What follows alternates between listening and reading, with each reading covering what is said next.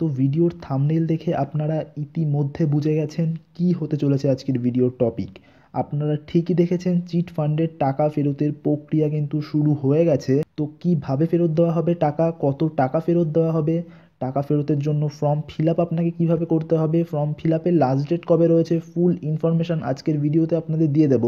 ভিডিওটি অবশ্যই শেষ পর্যন্ত দেখতে থাকুন। আর ভিডিওটি শুরু করার আগে আপনাদের প্রত্যেকের কাছে রিকোয়েস্ট আমার এই ছোট্ট চ্যানেলটিকে যদি এখনও সাবস্ক্রাইব না করে থাকেন, তাহলে আপনি অবশ্যই সাবস্ক্রাইব করে নিয়ে পাশের বেল আইকনে প্রেস করে অল নোটিফিকেশান অন করে রাখবেন। এর ফলে আপনি লেটেস্ট ইনফরমেটিভ আপডেট সবার আগে পেয়ে যাবেন এবং কোনো ভিডিও আপনার মিস হবে না। তো চলুন দেরি না করে ফুল নিউজটি দেখে নেওয়া যাক। তো আপনারা প্রত্যেকেই জানেন চিট ফান্ডে টাকা রেখে সর্বস্ব খুইয়েছেন বাংলার কয়েক কোটি জনতা। আর প্রায় আট বছর হতে চললেও সঞ্চিত টাকা ফিরে পাননি প্রতারিত লগ্নিকারীরা এবং প্রতারিতরা টাকা না পেলেও এই নিয়ে কিন্তু কম হয়নি রাজনীতি।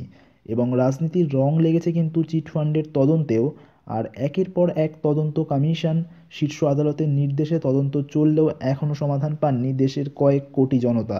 আর এবার কিন্তু এরকম পরিস্থিতিতে আদালতের তত্ত্বাবধানে চিটফান্ডের প্রতারিতদের টাকা ফেরানোর প্রক্রিয়া শুরু হয়েছে।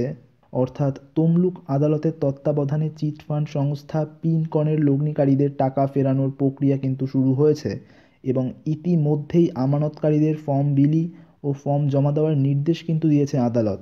এবং আগামী কুড়ি জানুয়ারির মধ্যে চিটফান্ড সংস্থা পিনকনের সমস্ত জমি জমা সম্পত্তি বিক্রি করে প্রতারিতদের টাকা কিন্তু ফেরত দেওয়ার নির্দেশ দিয়ে দিয়েছে আদালত এবং জানা গিয়েছে, তমলুক আদালতের তত্ত্বাবধানে সমস্ত আমানতকারীদের ফর্ম বিলি করার জন্য আগামী কুড়ি তারিখের মধ্যে জমা দেওয়ার নির্দেশ দেওয়া হয়েছে এবং শুক্রবার থেকে শুরু হয়েছে এই প্রক্রিয়া এবং এটা কিন্তু চলবে আগামী কুড়ি জানুয়ারি পর্যন্ত, অর্থাৎ ফর্ম ফিল আপের লাস্ট ডেট কিন্তু কুড়ি জানুয়ারি রাখা হয়েছে।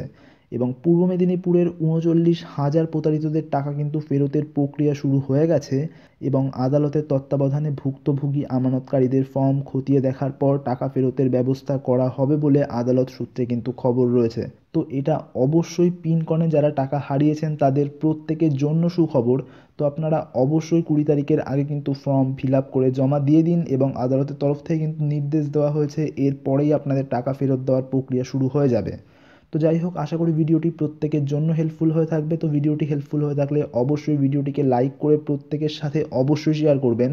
আর চ্যানেলটিকে অবশ্যই সাবস্ক্রাইব করে নেবেন সমস্ত রকমের টেক রিলেটেড আপডেট এবং নিউজ সবার আগে পেতে। তো প্রত্যেকে ভালো থাকবেন। দেখা হবে নেক্সট ভিডিওতে